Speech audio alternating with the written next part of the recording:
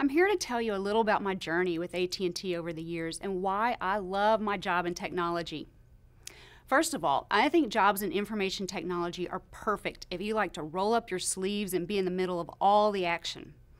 These days, almost everything we do here at AT&T runs on software technology, and my organization supports some of the most critical software applications AT&T relies on to do business.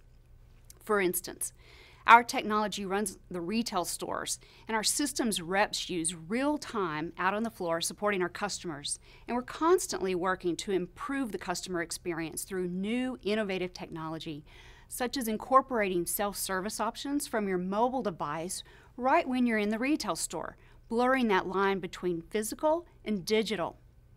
We work with marketing to develop and support all of the new products and services, so we're always among the first to know when a new device or product is coming out, even if we can't talk about it due to confidentiality agreements.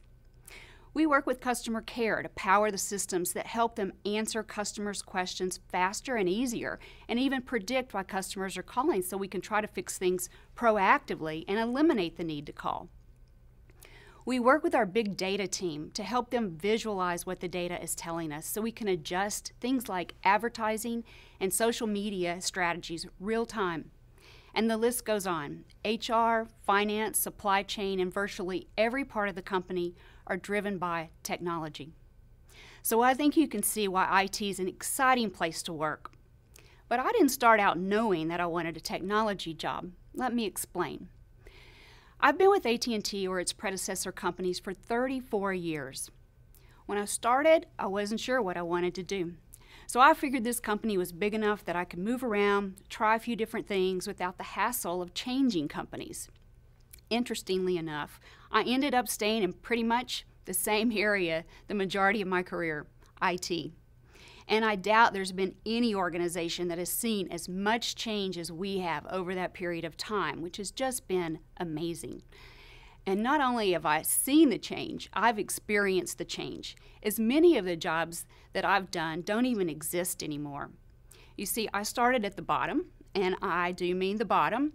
I was the assistant to the assistant of a district manager, and I remember one time the assistant asked me to do some filing and opened the door to this dark, musty room where tons of microfiche were strewn everywhere. And I'm sure most of you don't even know what microfiche is, but it was really hard to read. You had to have a special reader, and it was hard to separate. It stuck together, so filing wasn't that easy.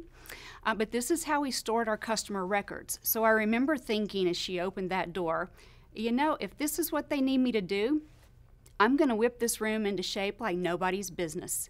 And that's sort of how I've approached every job I've been asked to do. The folks that work in IT aren't afraid to roll up their sleeves and get their hands dirty, and I enjoy that as well. It's how we learn and understand how to make things better using technology for our clients and our customers. So, over time, I continued to be given more responsibility until I was a direct report to that district manager and running one of the critical teams responsible not just for filing the customer bills, but for creating them. And as I continued to progress, I was recommended for a job in Atlanta to join this new business called Cellular. I hadn't heard much about it, and a couple of my superiors even advised me not to take the job because they thought it would never turn into a profitable business. I'd still think about that advice. But to me, it sounded exciting, and besides, I really wanted one of those cool new car phones.